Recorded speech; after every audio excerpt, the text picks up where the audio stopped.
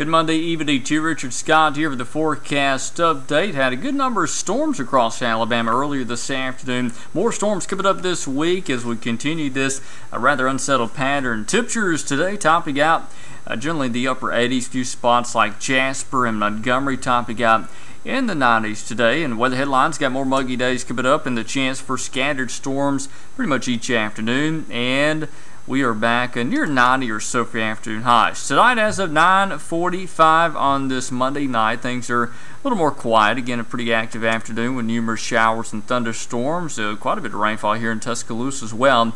74 wind out of the south at 8 miles per hour. Weather reports for today. Currently, uh, temperatures are in the 70s across the board. We got uh, highs this afternoon in the 80s. But interesting to note the rainfall.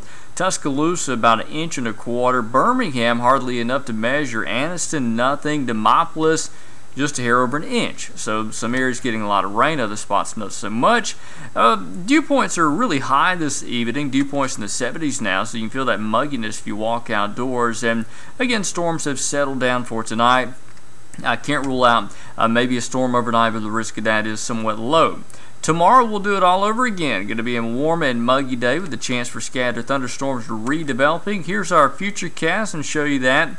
Again during the day tomorrow, some scattered storms by the afternoon, and tomorrow night they go to bed and more storms fire up on Wednesday.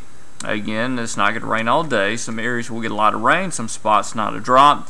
Again, rain chances uh, through this evening very, very, very small. I don't expect any organized rain. Tomorrow, though, more scattered thunderstorms coming in, uh, mainly between about lunchtime and 10 o'clock tomorrow night.